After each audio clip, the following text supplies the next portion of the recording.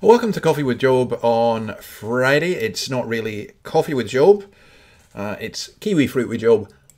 I, I love these golden kiwi fruits. Mm, This is kind of like a late breakfast for me. Well, we are coming to look again at the witness when Job is calling Jesus as his witness. Uh, we're in Job chapter 16, and we read it before.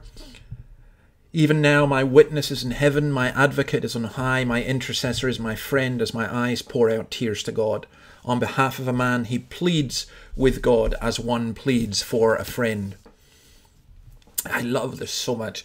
Uh, by the way, we're recording this a slightly different way today. I'm recording it on my laptop in the uh, in in my study at home. It's very hot outside and very muggy. Can I just say something about how we comfort people? Because what we're seeing here is what Job needs. He really needs this witness. He really needs Jesus. But he's got friends. You know what they do? They say to him things like, um, it's your fault. God is judging you. They, they, they make a judgment about the situation, about why it's happening. That is not helpful. They also say things like, you know, things could be worse. It's not the end of the world. You know, I, and again, that's not really helpful. What you say may be logically true. It's not the end of the world. So one of you may be going through a bit of suffering just now, and it may not be that massive, but let's just say you have a massive headache. It's not really much help to you if someone comes and says, excuse me, well, at least you've not, you know, had your leg blown off. Or you may have lost your job. You, you may be suffering from a really um, discouraging situation at work, or you've lost your job, and someone comes and says, "Well, at least you're not uh, being persecuted." It's really not much help. So I think that what Job does here, uh, it shows us what's needed. People need to bring Christ now.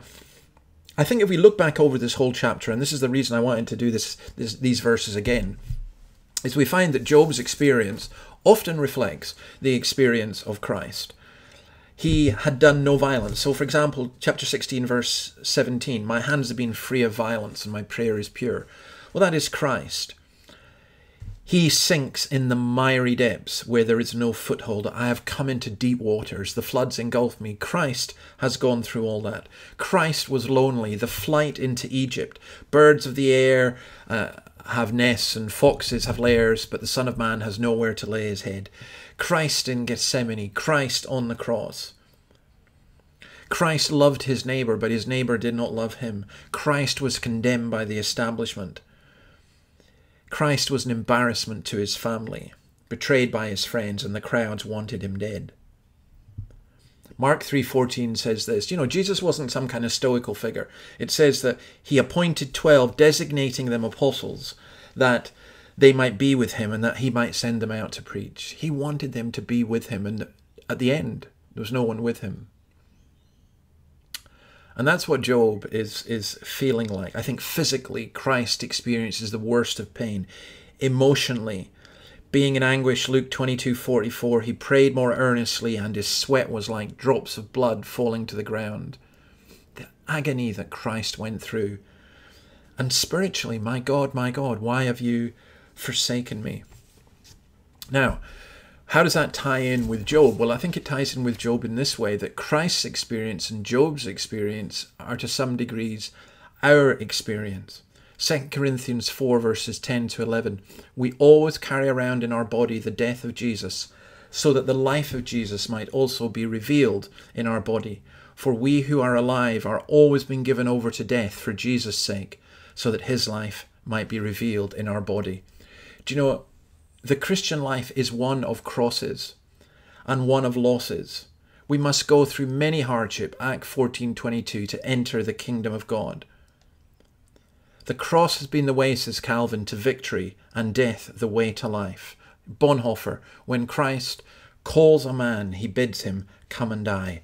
1 Peter 4:12 Do not be surprised at the painful trial you are suffering, as though something strange were happening to you, but rejoice that you participate in the sufferings of Christ, so that you may be overjoyed when his glory is revealed. So, what's that? The Christian life's one of suffering and carrying a cross. How does that work? Well, this is how it works. It's brilliant. My intercessor is my friend. He is my advocate. He is my redeemer. In this world of beauty marred by ugliness, he's the one who brings healing and hope. That actually is the whole message of Job. And that's why I've come back to these verses. My intercessor is my friend. I got a friend. And he's the Son of God. And he's the Word. And he's the one who's created. And he's the one who died for me. And he's the one who sustains. And he's the one who gives his Spirit. If you are a Christian, that's what you've got. And if you're not a Christian, you've got nothing in comparison with that.